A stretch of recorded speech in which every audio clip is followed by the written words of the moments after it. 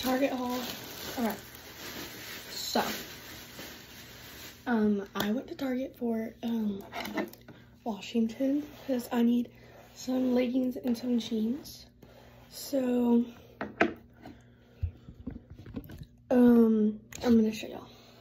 So, and I got like a cover up and stuff like that. So first, I got these cute flare jeans.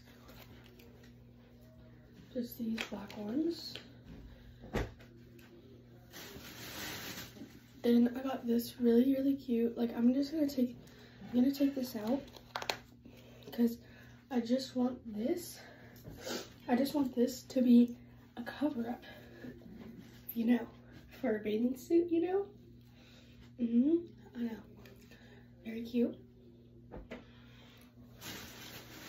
Then I have just these leggings, really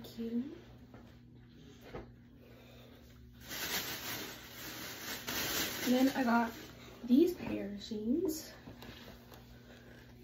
These are also really cute.